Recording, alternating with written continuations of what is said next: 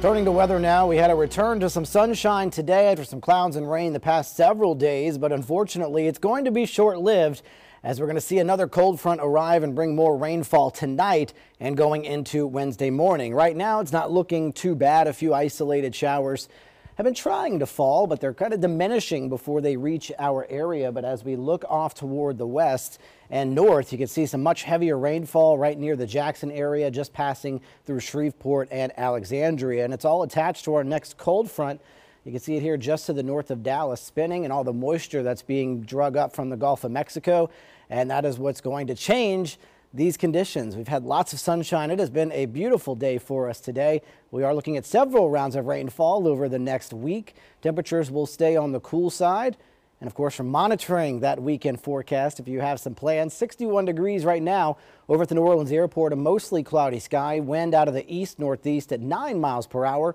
Overall, just a slight chill in the air with temperatures in the upper 50s to near 60 degrees. So as you're heading out the door, an increase in cloud cover tonight. Isolated showers will start to increase, especially as we head through the overnight hours. Here's a look at that forecast. There you see some scattered showers around 9 o'clock and then a little bit more widespread after midnight. The rainfall could be heavy at times and can't rule out an isolated thunderstorm.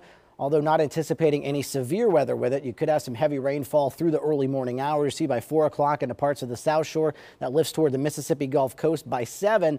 And then on the back side of this low, we'll have some lingering showers behind it as we head through the rest of the morning and afternoon. Then by the evening, you see most of that rainfall moving out. We get another little break for most of the day on Thursday.